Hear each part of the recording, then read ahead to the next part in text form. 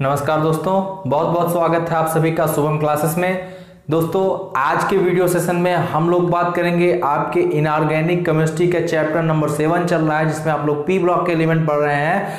तो 15 और 16 वर्ग के तत्वों का आपने पढ़ लिया है, सत्रहवें वर्ग का तत्व आपका चल रहा था, हाइलोजन परिवार के तत्व, जिसका मैंने आपको शार्ट ट्रिक भी बताया था कि किस प्रकार से आप हाइलोजन परिवार के तत्वों को शार्ट ट्रिक के माध्यम से याद कर सकते हैं। मैंने आपको क्या बताया था? फिर कल बाहर आई आंटी तो F C L B R I A T यहाँ पे आपका जो है फ्लोरिन, क्लोरिन, ब्रोमीन, आयोडीन और एस्टाटाइन ये आपका हाइलोजन परिवार के तत्व थे।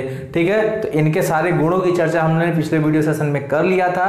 दोस्तों, आज हमें पढ़ना है इसके कुछ महत्वपूर्ण यौगिक जो हाइड्रोजन परिवार के तत्वों से मिलकर के बने होते हैं। तो उनका किस प्रकार से विरचन होता है निर्माण किस प्रकार से होता है, उनमें कौन कौन से गुण पाए जाते हैं? तो यह चीज़ पढ़नी है। तो आपके सिलेबस में दो चीज़ें हैं। एक तो आपका क्लोरीन हो गया और दूसरा आपका क्या हो गया?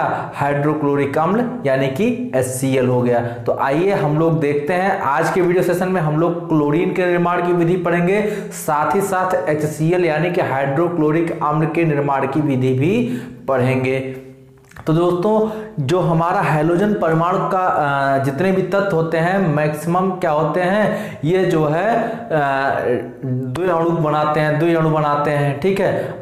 क्या बनाते हैं? द्विअणु मतलब जैसे यह स्वतंत्र अवस्था में क्या है? जैसे आपका क्लोरीन है या, फ्लोरीन है या ब्रोमीन है यह मुक्त अवस्था में ऐसे ही नहीं रह सकता। या किस प्रकार से रहेगा? अणु के रूप में रहता है द्विपरमाणु के रूप में रहता है। द्विपरमाणु बनाते हैं जैसे आपका सी हो गया एफ़ हो गया बी हो गया आई हो गया इस तरीके से जो है ये इस अवस्था में द्विपरमाणु अवस्था में पाए जाते हैं। तो दोस्तों आज के वीडियो सेशन में हम लोगों को बात करना है क्लोरीन का विरचन, ठीक है? किसका विरचन?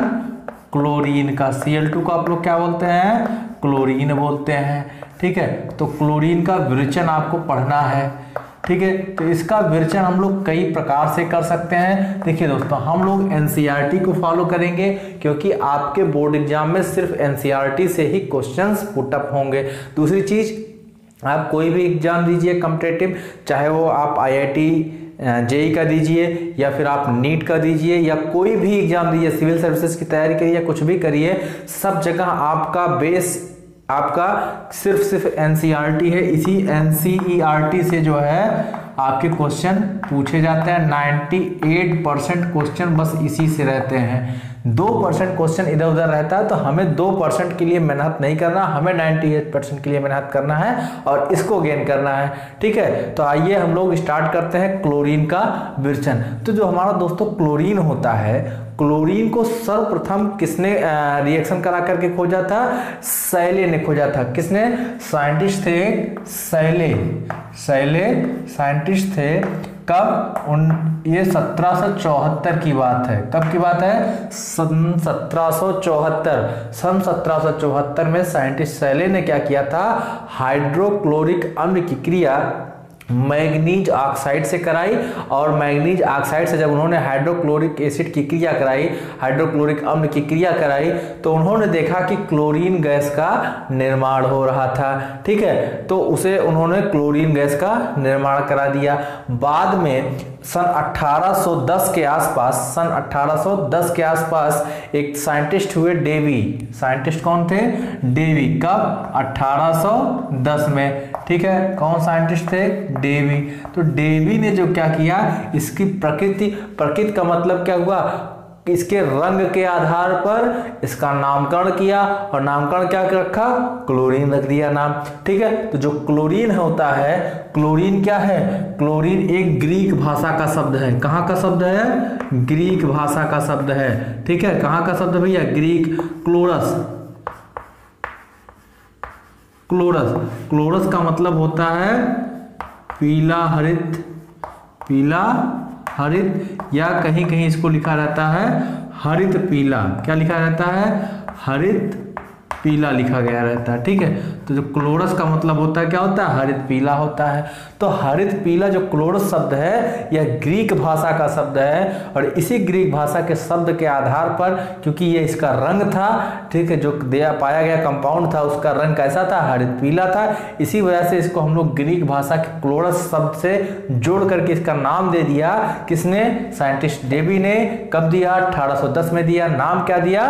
क्लोरीन दिया। बात समझ में आई? इतनी चीज़ें उम्मीद करते हैं आप सभी को समझ में आ गई होंगी। ठीक है? तो आइए हम लोग इसका विरचन पढ़ते हैं। विरचन का पहला तरीका अभी अभी आपको बताया गया कि साइंटिस्ट शैले ने क्या किया था। साइंटिस्ट शैले ने क्या किया था? HCl यानी कि हाइड्रोक्लोरिक अम्ल की क्रिया किससे कराई थी? मैग्नीज ऑक्साइड के साथ कराई थी। जब मैग्नीज ऑक्साइड के साथ जब मैग्नीज ऑक्साइड के साथ HCl की क्रिया होती है तो क्या बनता है? क्या बनेगा? MnCl2 बनेगा। क्या बनेगा? एम MnCl2 मैग्नीज क्लोराइड बनेगा। ठीक है, इसके अलावा क्या बनेगा? इसके अलावा बनेगा Cl2 बनेगा। Cl2 के अलावा, इसके अलावा क्या बनेगा? H2O बनेगा। ठीक है तो यह चीज़ें आपकी बनेंगी। यहाँ पर आप देख रहे हैं दो क्लोरीन दो क्लोरीन, चार क्लोरीन है, इसलिए आप इधर कर दीजिए फोर एच सी एल ठीक है, कितना हो गया? Four H C L plus ये आपका क्या है? हाइड्रोक्लोरिक हाइड्रोक्लोरिक हाइड्रोक्लोरिक एसिड है। ठीक है? ये आपका क्या है? मैग्नीज ऑक्साइड है। अब यहाँ पर मैग्नीज क्लोराइड बन रहा है। क्या बन रहा है? मैग्नीज देखिए, मैग्नीशियम नहीं है। मैग्नीशियम का सिंबल क्या होता है भैया? मैग्नीशियम का सिंबल होता है एम क्या होता है? एम इसका एटॉमिक नंबर 12 होता है। 12 एटॉमिक नंबर होता है। ठीक है? अच्छा मैग्नीज, ये क्या है? मैग्नीज। यह क्या है? एम एन एम एन क्या आपका? मैग्नीज है। तो यहाँ पे आपको मैग्नीज क्लोराइड की प्राप्ति हो रही है, साथ ही साथ आपको क्या मिल रहा है? क्लोरीन गैस मिल रही है। ठीक है? तो आपको बनाना क्या था? यही तो बनाना था। क्लोरीन गैस ही तो बनाना था। बाकी आप लोग देख लीजिएगा आई थिंक रिएक्शन जो है रिएक्शन जो है, अब वो आपकी बैलेंस होगी। क्योंकि दो दो दुना चार हाइड्रोजन एक दो ऑक्सीजन चार हाइड्रोजन दो ऑक्सीजन यहाँ दो ऑक्सीजन ठीक? दो ऑक्सीजन यहाँ देख लीजिएगा, इसको जो है दो ऑक्सीजन उधर भी था, चार हाइड्रोजन यहाँ है दो क्लोरीन, यहाँ से भी आपका हो गया कितना? चार क्लोरीन और दो क्लोरीन यहाँ पे चार क्लोरीन हो गया, ठीक है? और एक मैग्नीज यहाँ पर, एक मैग्नीज यहाँ पर तो मुझे लग रहा है कि रिएक्शन बैलेंस है, बाकी आप लोग भी एक बार देख लीजिएगा। तो इस तरीके से आपका जो है क्लोरीन विरचन का पहला तरीका, पहला मेथड कंप्लीट होता है, जिसमें आपका क्या होता है? एच या हाइड्रोक्लोरिक अम्ल की क्रिया मैग्नीशियम, मैग्नीज ऑक्साइड के साथ कराते हैं तो मैग्नीज क्लोराइड के साथ साथ आपको क्लोरीन गैस मिलती है और जल जल बाहर निकलता है। पास में भी है तो एक बार इसका स्क्रीनशॉट आप लोग ले लीजिएगा। आप लोग इसका स्क्रीनशॉट ले लीजिएगा। ठीक है? चलिए, अब हम लोग कराते हैं नेक्स्ट आपका विरचन, दूसरा तरीका। तो दूसरे तरीके में होता है क्या कि पोटेशियम परमैग्नेट होता है। पोटेशियम परमैग्नेट का जो फार्मूला होता है के एम एन ओ फोर होता है। क्या होता है? के एम एन ओ फोर यही तो है आपका पोटेशियम परमैग्नेट। इस पोटेशियम परमैग्नेट की क्रिया हम लोग किसके साथ कराते हैं? एच के साथ कराते हैं। हाइड्रोक्लोरिक। अम्ल वही जो हाइड्रोक्लोरिक अम्ल आपका यहाँ यूज़ हो रहा था, वही जो है पोटेशियम परमैग्नेट के साथ भी यूज़ हो रहा है। जब हम लोग इसकी क्रिया पोटेशियम परमैग्नेट के साथ कराते हैं तो हमें क्या प्राप्त होगा? देखिए, यहाँ पर एक तो हमें प्राप्त होगा MnCl2 क्या प्राप्त होगा? Manganese chloride. क्या प्राप्त होगा? MnCl2 साथ ही साथ आपको क्लोरीन गैस बनानी है।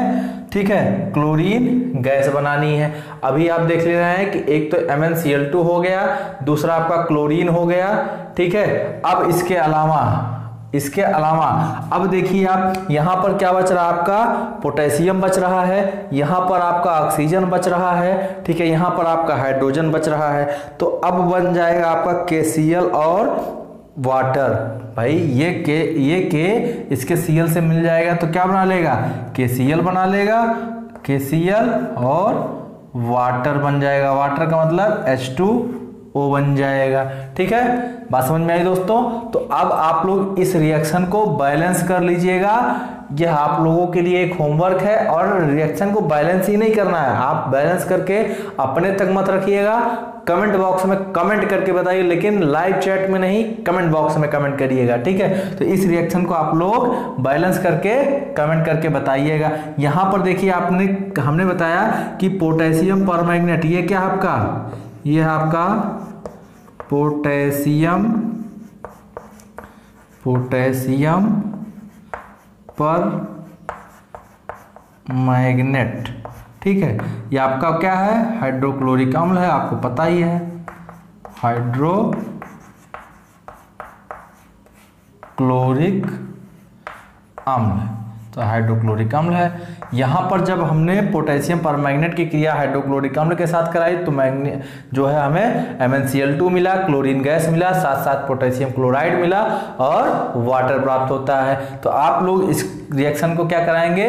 बैलेंस करा लेंगे, उम्मीद करते हैं, ठीक है? तो यह विरचन की जो है, जो नॉर्मल मेथड था, जिसके माध्यम से इसको बनाया गया, ठीक है? तो यह हो गया। मैंने आपको पहले ही बताया था, सत्रह सन में, सैले नामक साइंटिस्ट ने आपके मैग्नीज क्लोराइड की क्रिया हाइड्रोक्लोरिक अम्ल के साथ कराई, जिसके बाद उनको क्या प्राप्ति हुई? क्लोरीन की प्राप्ति हुई। और इस क्लोरीन का नामकरण किसने किया? साइंटिस्ट डेबी ने किया। किसके आधार पर किया? इसकी प्रकृति के आधार पर। प्रकृति का मतलब इसके रंग के आधार पर। रंग कैसा था? पीला, हरा था या हरित पीला था? इसी क्यों? तो हरित पीला जो हमने ग्रीक भाषा का शब्द क्लोरस से लिया। और क्लोरस से आधार पर ही इसका नाम रख दिया क्या? क्लोरीन। बात समझ में आई? तो ये जो दोनों आपके तरीके हैं विरचन के, इसका आप लोग एक बार स्क्रीनशॉट ले लीजिए। इसके बाद हम लोग देखते हैं नेक्स्ट इसके क्लोरीन के निर्माण की विधि। ठीक है? तो उम्मीद करते हैं आप सभी लोगों ने इसका स्क्रीनशॉट ले लिया होगा। तो चलिए हम लोग देखते हैं इसके निर्माण का या उत्पादन की विधि। चलिए दोस्तों, अब हमारा क्लोरीन निर्माण या उत्पादन की विधि हमें देखना है। तो दो विधि जो आपके सिलेबस में दिया गया है, वह है पहला एक विद्युत अपघटन के द्वारा और दूसरा डेकान विधि के द्वारा क्लोरीन का उत्पादन। तो यह दो चीज़ें जो, या दो प्रकार है, या दो टाइप जो हैं क्लोरीन के उत्पादन का, यह आपके सिलेबस में दिया गया है। तो आइए हम लोग देखते हैं कि किस प्रकार से हम लोग जो है डेकान विधि के द्वारा क्लोरीन का निर्माण कर सकते हैं। इसमें क्या होता है डेकान विधि में। CuCl2 लिया जाता है, जो कि उत्प्रेरक के रूप में कार्य करता है। इसके इस उत्प्रेरक की उपस्थित में हम लोग एच सी एल का क्या कराते हैं? ऑक्सीजन से ऑक्सीकरण कराते हैं। कितने टेम्परेचर पर? 723 डिग्री केल्विन टेम्परेचर पर। ठीक है? तो हमें किसकी प्राप्ति होती है? क्लोरीन गैस की प्राप्ति होती है। हमने क्या बताया? हमने बताया कि जो आपका HCl होता है हाइड्रोक्लोरिक अम्ल होता है, इस हाइड्रोक्लोरिक अम्ल की क्रिया हम लोग किससे कराते हैं? ऑक्सीजन से कराते हैं, ऑक्सीजन से इसका ऑक्सीकरण कराया जाता है। तो हमने बताया कि HCl की क्रिया किसके साथ कराई जाएगी? ऑक्सीजन के साथ कराई जाएगी। ठीक है? कितने डिग्री सेंटीग्रेड टेम्परेचर पर कराई जाएगी? तो भैया 723 डिग्री केल्विन लिखा गया है, बहुत ही मोटे मोटे 723 डिग्री केल्विन। कौन सा उत्प्रेरक यूज़ किया जा रहा है? C U C L two ठीक? अब हम लोग जब इसकी क्रिया कराते हैं एच सी एल के साथ, किसकी? ऑक्सीजन की। हमें प्राप्त क्या होगा? एक तो हमें प्राप्त होगा क्लोरीन गैस दूसरा क्या प्राप्त होगा? वाटर प्राप्त होगा। क्या प्राप्त होगा? वाटर प्राप्त होगा। अब देख रहे हैं, यहाँ पर Cl2 है तो इसका मतलब यहाँ पर H जो है Cl होगा, यहाँ पर दो, ठीक है? तो अगर दो करेंगे, यहाँ पर दो ऑक्सीजन है तो यहाँ पर कर दीजिए दो, ठीक है? तो हो गया चार हाइड्रोजन चार हाइड्रोजन का मतलब यहाँ पर आप फोर कर दीजिए। फोर एच की क्रिया, आप जब O2 से के साथ कराएँगे, का CuCl2 उत्प्रेरक की उपस्थिति में 723 डिग्री केल्विन पर तो हमें किसकी प्राप्ति होगी? क्लोरीन की प्राप्ति होगी। अब देखिए, कैसे कह रहे हैं कि यहाँ पर आक्सीकरण हो रहा है। देखिए ऑक्सीकरण के लिए हमने जो प्रीवियस लेक्चर्स लिए हैं, पिछले चैप्टर में बताया था कि ऑक्सीकरण कब होगा, जब ऑक्सीजन की संख्या बढ़ जाए या हाइड्रोजन परमाणु की संख्या घट जाए। अब आप लोग देख रहे हैं, यहाँ HCL में एक हाइड्रोजन था और एक हाइड्रोजन से यहाँ पर हाइड्रोजन कितना हो गया? ज़ीरो हो गया। एक हाइड्रोजन से हाइड्रोजन ज़ीरो हो गया। यानी कि जो है इस एच का ऑक्सीजन के प्रेजेंस में क्या हो गया? ऑक्सीकरण हो गया। बात समझ में आई भैया? चलिए तो उम्मीद करते हैं आपको पहला डेकान विधि समझ में आया होगा। दूसरा है आपका वैद्युत अपघटन, मान मतलब इलेक्ट्रोलिसिस के द्वारा, ठीक है? इलेक्ट्रोलिसिस के द्वारा मतलब क्या होता है? यहाँ पर इलेक्ट्रिक करंट के द्वारा, वैद्युत प्रवाह के द्वारा क्या क्या दिया जाता है? हम लोग क्या करते हैं? एक तो लेते हैं सोडियम क्लोराइड का जलीय विलयन, कंसंट्रेट सोडियम क्लोराइड का जलीय विलयन लेते हैं और उसके बाद उसमें क्या करते हैं? हैं इलेक्ट्रिक करंट या विद्युत धारा उसमें फ्लो कराते हैं। जब उस पर करंट फ्लो कराएँगे तो जो आपका NaCl होगा, सोडियम क्लोराइड होगा, इसमें यह सोडियम क्लोराइड, एक तो Na पॉजिटिव आयन और Cl नेगेटिव आयन में टूट जाएगा, ठीक है? अब जब ये Na पॉजिटिव और Cl नेगेटिव में टूटेगा तो Cl Cl कहाँ पर चले जाएँगे? एनोड पर चले जाएँगे, और दो क्लोरीन आयन आपस में क्रिया कर लेते हैं, बॉन्ड बना लेते हैं, और द्वि परमाणु हमने पहले ही बताया है कि जो आपके हाइलोजन समूह होते हैं, इनके तत्व द्वि परमाणु होते होते हैं। इसीलिए जो है आपका जब क्लोरीन क्लोरीन आयन आपस में मिलेंगे तो बना क्या लेगा? Cl2 बना लेगा। और यह Cl2 हमें कहाँ प्राप्त होगा? एनोड पर प्राप्त होगा। बात समझ में आई? कैसे? हम लोग कंसंट्रेट NaCl का जलीय विलयन लेंगे, उससे विद्युत धारा को प्रवाहित करेंगे करंट को प्रवाहित करेंगे। जब करंट को प्रवाहित करेंगे तो इसका वैद्युत अपघटन होगा, यानी कि इलेक्ट्रोलाइसिस होगी। देखिए इलेक्ट्रोलाइसिस में जो टर्म बोल रहा हूँ, उसको बहुत ध्यान से सुनिएगा। इलेक्ट्रोलाइसिस या इसी को आप लोग लिसिस भी बोलते हैं। इलेक्ट्रो का मतलब जो है, ये क्या है? इलेक्ट्रिक करंट से है करंट से है। ठीक है? और लिसिस का मतलब होता है break down break down break down का मतलब टूट जाना होता है। ठीक है? तो करंट की उपस्थित में जो भी आपने लिया है, वह चीज़ टूट जाती है अपने आयनों में। ठीक है? तो आप NaCl ले रहे थे तो सोडियम क्लोराइड सोडियम और क्लोरीन आयन में जो है क्लोराइड आयन में टूट जाता है। इस वजह से जो है आपको एनोड पर क्लोरीन या Cl2 गैस की प्राप्ति हो जाती है। इस प्रकार से आप लोग जो है Cl2 या क्लोरीन का उत्पादन कर सकते हैं। तो उम्मीद करते हैं आपको ये चीज़ समझ में आई होगी। आप लोग इसका एक बार स्क्रीनशॉट लीजिएगा, मैं हट जा रहा हूँ। ठीक है? स्क्रीनशॉट उम्मीद करते हैं आप लोगों ने ले लिया होगा। अब इसके अलावा इसका क्या बचता है? गुण बचता है। क्लोरीन का कुछ गुण भी होगा। तो आइए हम लोग इसके गुण की चर्चा कर लेते हैं। साथ ही साथ हम लोग इसके उपयोग की भी चर्चा करेंगे।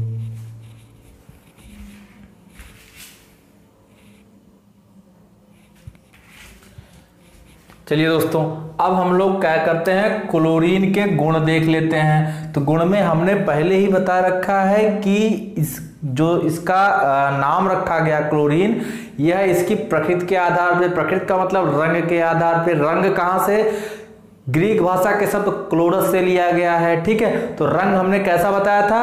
हरित पीला बताया था। इसी के आधार पर इसका नाम क्लोरीन रखा गया है। तो इसलिए रंग कैसा होगा? हरित पीला होगा। अच्छा गंध कैसी होती है? पंजेंट, यानी कि तीक्ष्ण होती है। बहुत ही तेज गंध होती है, ठीक है? दम घुटने लगता है इसकी गंध में। इसकी गंध में क्या होता है? दम घुटने लगता है। दूसरी चीज़ यह किस अवस्था में पाई जाती है? तो मैंने पहले ही बताया दिया है कि द्विपरमाणुक हैं तो गैसियस स्टेट में भी पाए जाते हैं। मैंने आपको जब पहले दिन बताया था तो बताया था कि कौन कौन से गैसियस स्टेट में जाते हैं। ब्रोमीन आपका लिक्विड में पाया जाता है, कौन आपका ठोस में पाया जाता है, यह भी आपको बताया था। तो ये सारे के सारे मैक्सिमम जो आपके लवण में या समुद्री जलों में पाए जाते हैं, लवणीय रूप में, ठीक है? तो वहाँ पर मैंने ये सारी चीज़ें पहले लेक्चर पर डिस्कस की थी तो उसमें जाने की ज़रूरत नहीं है। अवस्था कैसी होगी? गैसियस गैसीय अवस्था होगी। ठीक है? दूसरा, हवा से क्या होता है? ढाई गुना तक ज़्यादा वजनदार होता है, भारी होता है। और जल में क्या करता है? आसानी के साथ घुल जाता है। बात समझ में जल में क्या करता आसानी के साथ जल के साथ क्रिया कर लेता यानी कि जल में क्या होगा? आसानी के साथ विलय होगा। कौन? क्लोरीन की बात कर रहे हैं आप लोग। ठीक है? इसके अलावा जो इसका क्वथनांक होता है, वह क्वथनांक कितना होता है? दो सौ उनतालीस डिग्री केल्विन इसके अलावा अगर हम लोग बात करते हैं तो यह जो है, आसानी के साथ द्रवित भी हो जाता है, लिक्विफाई भी हो जाता है, यानी कि जो है, द्रव अवस्था में इस गैस को हम लोग थोड़ा सा प्रेशर और टेम्परेचर देंगे तो किसमें कन्वर्ट हो जाएगा? द्रव अवस्था में कन्वर्ट हो जाता है, इसलिए इसको हम बोलते हैं द्रवित भी हो जाता है आसानी के साथ। अच्छा एक बात और, कुछ धातु तथा अधातुओं के साथ यह क्रिया करके क्या बनाता है? क्लोराइड बनाता है। ऐसे ही समझिएगा, जैसे आपका सोडियम, सॉरी, हम ले हम ले ले रहे हैं सोडियम। सोडियम क्या आपका भैया? धातु है, ठीक है? हमने आपको पीरियडिक टेबल में पता होगा, एस ब्लॉक के एलिमेंट को एल्कली मेटल और एल्कली अर्थ मेटल कहते हैं। मतलब क्षारीय धातु क्षारीय मृदा धातु कहते हैं। तो यह आपका क्या है? यह जो है आपका क्षारीय धातु है, ठीक? अब यह क्या है? जो सोडियम होता है, यह क्या करेगा? क्लोरीन के साथ क्रिया करेगा। जब यह सोडियम क्लोरीन के साथ क्रिया करेगा तो सोडियम क्लोराइड बनाएगा। क्या बनाएगा भैया? Sodium chloride. और यही तो हम बता रहे हैं। धातु एवं अधातु के साथ क्रिया करके क्या बनाता है? क्लोराइड आयन बनाता है। इसके अलावा जो है हम लोग अगर पोटेशियम के साथ इसकी क्रिया करा देते हैं, ठीक? तो यह क्या बनाएगा? टू बनाएगा। तो यह भी आपका जो है पोटेशियम क्या क्षारीय मृदा धातु के अंतर्गत आता है सॉरी यह भी क्षारीय धातु के अंतर्गत ही आता है। इसके अलावा कह रहा है कि यह जो है अधातु के साथ क्रिया करते हैं। अधातु यानी कि जब मैंने आपको पहले ही बता रखा था, इसमें पंद्रह और सोलह वर्ग के तत्व ऊपर के दोनों याद करिए। फास्फोरस, ठीक है, सल्फ़र, ये सब क्या थे? भाई, ये सब तो अधातु थे। तो फास्फोरस और सल्फ़र के साथ क्रिया करके क्या करता है? जो है, क्लोराइड बनाता है तो आइए हम लोग इसकी क्रिया फास्फोरस के साथ करा लेते हैं। तो फास्फोरस मुक्त अवस्था में P4 के कंडीशन में पाया जाता है और इसके अलावा Cl2 के साथ क्रिया कर लेगा। भाई, फास्फोरस जो आपका फास्फोरस P4 में पाया जाता है Cl2 के साथ क्रिया कर लेगा और बना क्या लेगा? PCl3 बना लेगा। ठीक है? पी सी एल थ्री बना लेगा, यहाँ पे four P C P C L three हो जाएगा। तो इस तरीके से आप लोग देख रहे हैं कि आपका अधातु भी जो है क्रिया करके क्लोराइड बना रहा है। ठीक है फास्फोरस क्लोराइड ट्राइक्लोराइड बना रहा है। पेंटाक्लोराइड भी बनता है इसका। भाई पी सी एल फाइव भी बनता है फास्फोरस पेंटाक्लोराइड ये तो फास्फोरस ट्राइक्लोराइड है। और बता क्या रहा है? धातु एवं अधातु के साथ यह है आपका जो क्लोरीन है, क्रिया करके क्या बनाता है? क्लोराइड बनाता है। ठीक? तो उम्मीद करते हैं ये धातु वाला हो गया, ये अधातु वाला हो गया तो आपको धातु धातु वाला क्रिया समझ में आ गया होगा। अगला कह रहा, हाइड्रोजन युक्त यौगिक से यह बहुत तेज़ी के साथ रिएक्शन करता है, ठीक है? यानी कि हाइड्रोजन के प्रति इसकी क्रियाशीलता ज़्यादा होती है, हाइड्रोजन से बॉन्ड बनाने की? और क्या करता है? क्रिया करके एस बना लेता है, ठीक है? जैसे आपका जो है ये हाइड्रोजन हो गया यह क्लोरीन हो गया और ये आपस में क्रिया करेंगे तो क्या बना लेगा? एचसीएल बना लेगा। ठीक है इसी तरीके से हम बता रहे हैं हाइड्रोजन युक्त तो कोई भी यौगिक ले लीजिए। जैसे आप लोग ले लीजिए सी टेन एच सिक्सटीन बहुत ही पॉपुलर एग्ज़ाम्पल आपके जो है एनसीईआरटी बुक में लिखा गया है सी टेन एच सिक्सटीन ठीक है? जब इसके साथ क्रिया करेगा, कौन? आपका क्लोरीन। तो बनाएगा क्या? एच सी एल बनाएगा और कार्बन बन जाता है, ठीक है? क्या बनाएगा? एच सी एल बनाएगा और कार्बन बन जाता है। तो आप लोग इसको क्या कर लीजिएगा, एक बार बैलेंस कर लीजिएगा इस रिएक्शन को, ठीक है? तो यह आप लोगों के लिए क्या है? होमवर्क है। तो हाइड्रोजन के साथ आप लोग देख रहे हैं हाइड्रोजन युक्त यौगिक है ना भैया? हाइड्रोजन युक्त यौगिक है। इसके साथ क्रिया कर रहा है कौन? क्लोरीन बना क्या रहा है? एच बना ले रहा है, ठीक है? इसके अलावा हाइड्रोजन सल्फाइड है एच के साथ क्रिया कर लेगा। तो एच के साथ भी क्रिया करके जो है क्या बनाता है? एच ही बनाता है। जैसे हाइड्रोजन सल्फाइड भाई H2S क्या? हाइड्रोजन सल्फाइड है। इसके साथ क्या करेगा? अगर क्रिया करेगा Cl2 तो बनाएगा क्या? H2S बनाएगा, साथ ही साथ सॉरी H2 सॉरी HCl बनाएगा ना भैया? हाइड्रोजन क्लोराइड बनता है। HCl बनाएगा और साथ साथ में क्या बन जाएगा आपका? सल्फ़र की प्राप्ति हो जाएगी। ठीक है? यहाँ पर आप क्या कर लीजिएगा? दो एच कर लीजिएगा, वहाँ पर सल्फ़र मिल जाएगा आपको, ठीक है? तो इस प्रकार से यह हाइड्रोजन युक्त यौगिकों के साथ क्रिया करता है। तो उम्मीद करते हैं आपको ये चीज़ें गुण इसके समझ में आए होंगे। एक बार इसका स्क्रीनशॉट ले लीजिए, मैं मिटाऊ उससे पहले।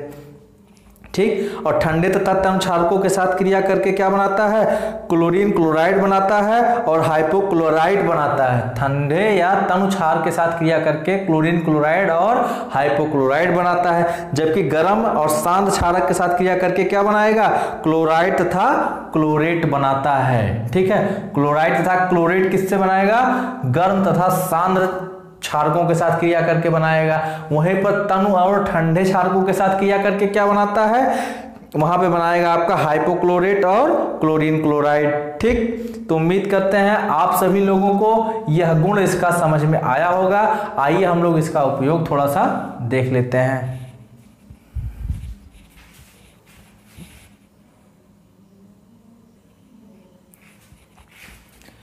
चलिए दोस्तों, जब उपयोग की बात करते हैं तो जो हमारा, हम लोग जो पीते हैं, जो टंकी का सप्लाई वाला पानी होता है, उसमें क्लोरीन डाला जाता है। क्यों डाला जाता है?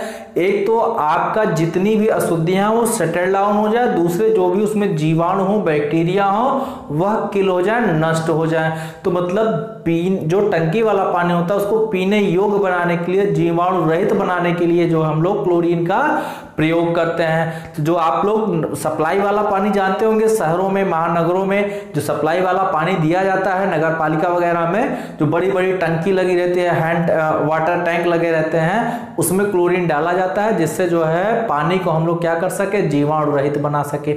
दूसरा जो है, हम लोग इसका उपयोग कागज़ और वस्त्र के विरंजन में करते हैं, कलर में करते हैं, ठीक है? तीसरी चीज़, इसका हम लोग रंजक बना सकते हैं, औषधि बना सकते हैं।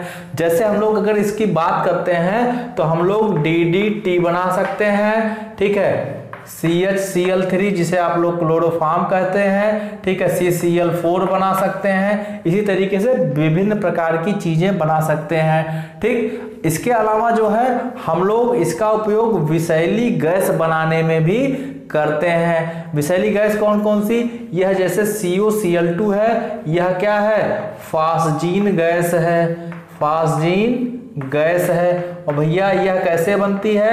यह जो है आपका, जो क्लोरोफार्म होता है, इस क्लोरोफार्म का जो है सनलाइट की प्रजेंस में सनलाइट की प्रेजेंस में वायु के द्वारा क्रिया के थ्रू फास्जीन गैस बनती है। बहुत ही विषैली होती है, हानिकारक होती है, जानलेवा हो सकती है। ठीक, इसके अलावा आपका जो है नेक्स्ट है, इसको हम लोग अश्रु गैस बोलते हैं। क्या बोलते हैं?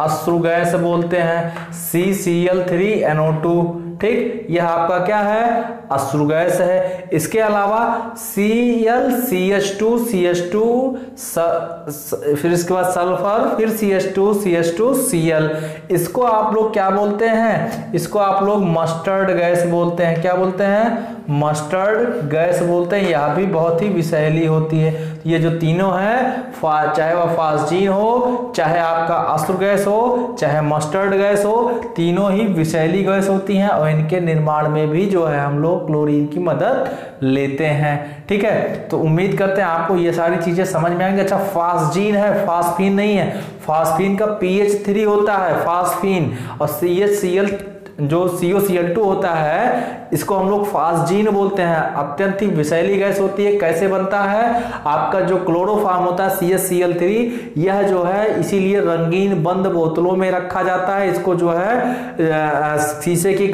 शीशे के बाटल में रखते हैं। प्लास्टिक वगैरह में नहीं रखते हैं। ठीक है, क्यों? क्योंकि यह जब क्लोरोफार्म सूर्य के प्रकाश की उपस्थिति में ऑक्सीजन के साथ क्रिया करता है तो क्या बना लेता है? एक विषैली गैस बना लेता है इसका नाम फास्जीन होता है, बहुत ही हानिकारक होता है। दूसरी एक चीज़, एक बात करना दोस्तों आप लोगों से। आप लोग क्या करते हैं, बहुत ही उल्टा सीधा कमेंट करते हैं, ठीक है? कोई एक है बदमाश ठाकुर करके कुछ, ठीक? तो भैया आपसे कहना चाहूँगा, सुधर जाओ, ठीक है? ये आपके पढ़ने का समय है, अभी पढ़ लो, जितना पढ़ाया जा रहा है, नहीं समझ में आया, नहीं पढ़ना है, बकवास मत किया करो, निकल जाया करो, वहाँ पे उल्टा सीधा टिप्पणी मत किया करो, ठीक है? मैं भी आपको पढ़ा रहा हूँ तो बहुत अच्छा लग रहा हूँ, ठीक है? बहुत अच्छे से पढ़ा रहा हूँ मैं नहीं चाहता हूँ कि सिर्फ़ एक या दो बच्चों के चक्कर में सारे बच्चों का नुकसान हो, ठीक है? तो उम्मीद करते हैं कि अब से आप सुधर जाओगे। अगर आज के बाद आपको कुछ फर्जी का कमेंट करना है तो इस चैनल पर मत आना है, मेरे वीडियो पे पर्टिकुलरली मत आना, बाकी जहाँ जो मन करना है करो। दूसरी चीज़, आप लोग एनसीईआरटी को ही फॉलो करिए। एनसीईआरटी की बुक को पढ़िए। एनसीईआरटी ही आपका सिलेबस है। अगर आपको लग रहा होगा, थोड़ा सा कष्टदायक लग रहा होगा, लग रहा होगा कि नहीं सर, फर्जी की बात कर रहे हैं, मैं आपको वादा करता हूँ कि अगले आप पाँच साल में, जैसे ही आप ग्रेजुएशन पास कर इंटरमीडिएट पास करेंगे, इसके बाद अगले पाँच साल, यानी कि ग्रेजुएशन करने के दो एक साल बाद, जब आप कोई प्रिपरेशन करेंगे, या just graduation pass intermediate pass करने के बाद आईआईटी या मेडिकल के क्षेत्र में जाएँगे, तब आपको समझ में आएगी इस चीज़ की वैल्यू कि सर बार बार क्यों कह रहे थे एनसीईआरटी पढ़ने के लिए, क्योंकि मैंने भी मेडिकल के प्रिपरेशन कर रखी है। ठीक है, मुझे पता है, मैं भी पीएचडी का स्कॉलर हूँ और मुझे बहुत अच्छे से पता है कि क्या आपके लिए अच्छी चीज़ें हैं, क्या आपके लिए अच्छी चीज़ें नहीं है। तो मैं अपना अपना खुद का एक्सपीरियंस बता रहा हूँ कि आप लोग एनसीईआरटी को ही फॉलो करो। जीवन में हमेशा आपके लिए पढ़ाई एक आसान तरीका रहेगा। बहुत ही आसान तरीके से आप लोग जो है किसी भी टारगेट को अचीव कर सकते हैं।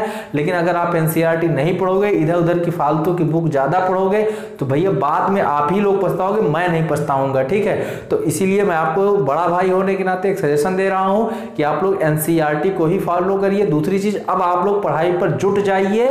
क्योंकि अब आपके पास बिल्कुल टाइम नहीं बचा है। समझ लीजिए कि आपका एग्ज़ाम मुश्किल से तीन महीने की दूरी पर आपसे है। तो मैं उम्मीद करता हूँ कि आप लोग 90 दिन लग जाएँगे, अपने अपना जो समय होगा, अपने बोर्ड एग्ज़ाम के लिए देंगे और 90 परसेंट जो आपका एक अचीवमेंट है, जो आपका एक टारगेट है, उसको अचीव करेंगे, ठीक है? और इसके बाद अपने समाज का, अपने मम्मी पापा का, अपने घर वालों का, अपने रिलेटिव्स का नाम रोशन करेंगे। साथ ही साथ शुभम चैनल क्लासेस को भी आप लोग रोशन करेंगे। Thank you